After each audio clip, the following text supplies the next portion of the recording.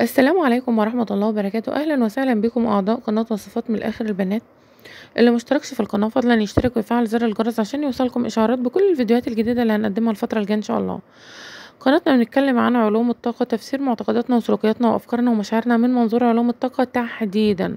هدفي من القناة أساعدكم أشحنكم بكل الطاقات الإيجابية أخلصكم من أي طاقات سلبية داخلة بتشعروا بيها وبتأثر على حياتكم. هدفي مش بس أوجهكم للطريق الصح أفضل معاكم لحد إيه، ما توصلوا للي أنتوا عايزينه. إيه، لحد ما تطمنوا لحد ما روحكم تطمن. لأن الفترة دي فترة التفكير المستمر والإرهاق الذهني دي فترة خطيرة جدا جدا على الإنسان. الإنسان هنا بيبقى آه، ذهنه على طول مشغول بشخص آخر حاسس إن هو في عالم تاني مش قادر يركز مش قادر يمارس حياته اليومية. محدش يستسهل بالموضوع. الموضوع صعب جدا يا جماعة.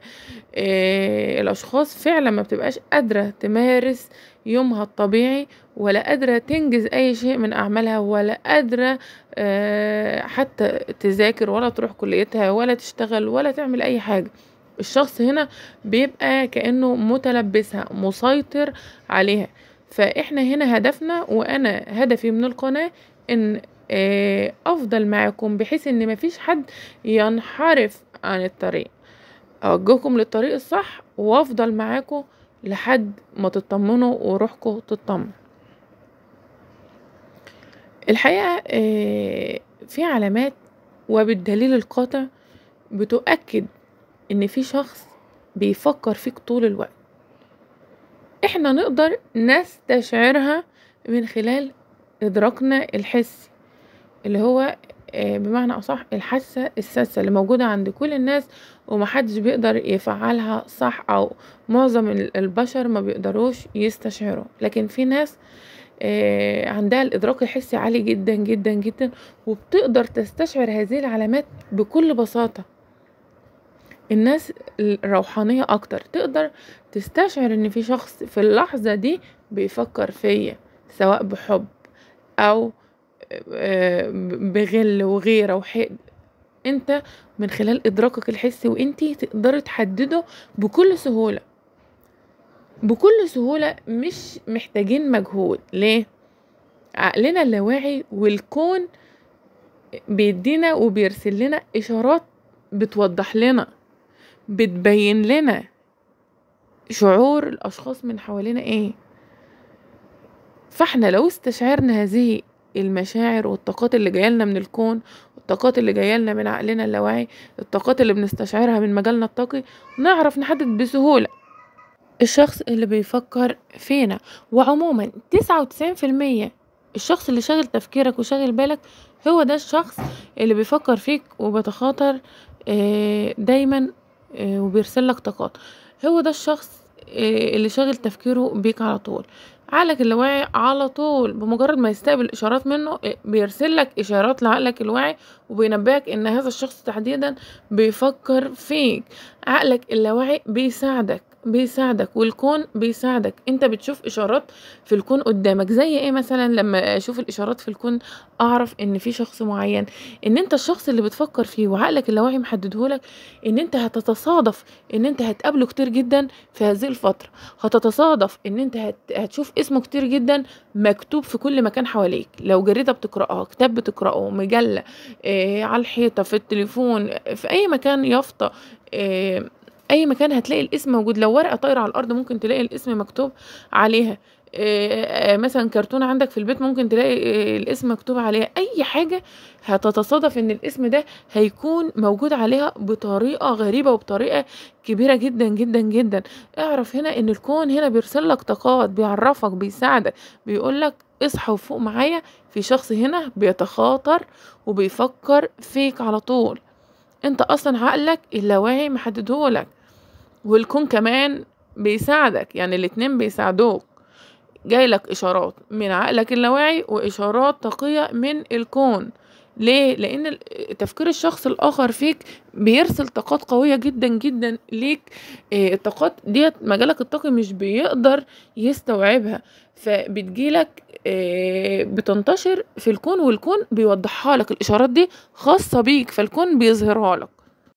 الكون هنا بيبقى عامل قوي جدا جدا عشان يظهر لك طاقات الأشخاص اللي بتفكر فيك. مش شرط بس بتفكر فيك بحب ممكن برضو يرسل لك طاقات في أشخاص تكون بتغير منك بتحقد عليك ما بتحبكش إيه على طول حقد عليك. الكون برضو بتوصل له هذه الإشارات من الأشخاص وبيظهرها لك بيظهرها لك إيه برضو هتشوف هذه. بس انت بقى شعورك وانتي شعورك اللي بيحدد.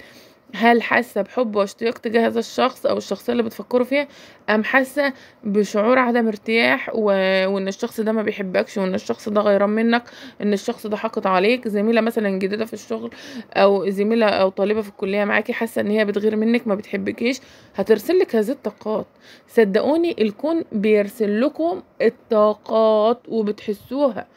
بتحسوها ومش الكون بس اللي بيرسل لك وبيرسل لك إشارات يوضح لك لا. ممكن الأشخاص المحيطين بيك زمايلك في العمل آه، أقاربك إخواتك أفراد عائلتك برضو بيرسلوا لك إشارات طاقية غير مقصودة بتوضح لك إن في شخص بيفكر فيه يعني إيه؟ يعني أنت ممكن تشوف الشخص أو الأشخاص اللي بتعيش معاهم على طول أو اللي أنت بتشوفهم كل يوم بمجرد ما تشوفهم كده تحس إن أنت شايف هذا الشخص. تشوف وجه هذا الشخص فيهم. حتى لو ما فيهوش شبه منهم لا أنت شايفهم شبه هذا الشخص. شكلهم طريقة كلامهم ريحتهم بتفكرك بهذا الشخص. إيه حتى لما يجوا يتكلموا هتلاقيهم جايبين سيرة الشخص ده كتير قدامك. هتلاقيهم على طول بيجيبوا سيرة هذا الشخص هما ما يعرفوش إن أنت بتحبه ولا هو بيفكر فيه. لكن لا اراديا آه، وغير مقصود هتلاقي الأشخاص اللي حواليك على طول بتتكلم عن هذا الشخص. يبقى الأشخاص برضو بترسل لك إشارات. آه، ممكن آه، هتلاقي ريحة البرفان مثلا اللي بيستخدموه مقاربة جدا لريحة البرفان اللي الشخص بيستخدمه علشان دي علامات تقية عشان تفكرك وتعرفك إن الشخص بيفكر فيك على طول.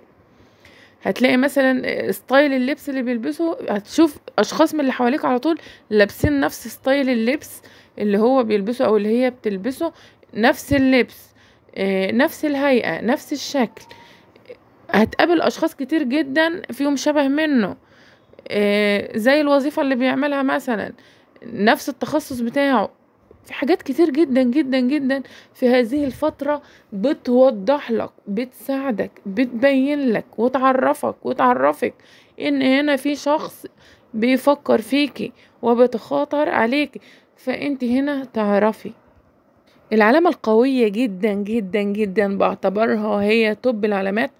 من أقوى العلامات إن أنت يجيلك على طول آه، أو يجيلك شعور بالاشتياق الشديد مع نوبة من البكاء وتفتكر هذا الشخص وبتبكي وما انتش عارف وما انتش عارفة أنتوا بتبكوا ليه. اعرفوا ان هنا ان هذا الشخص بيفكر فيكوا بطريقة كبيرة جدا جدا جدا عدت الحدود. وان الشخص هنا آه، مش بيفكر فيكوا لا وبيحبكوا كمان. بيحبكوا بإخلاص. لو ظهرت هذه العلامة آه، اللي بقول عليها مع العلامات الأخرى اعرفوا وتأكدوا مليون في المية إن الشخص الآخر بيفكر فيكم. إحساسكم ما بيكدبش إدراككم الحسي ما بيكدبش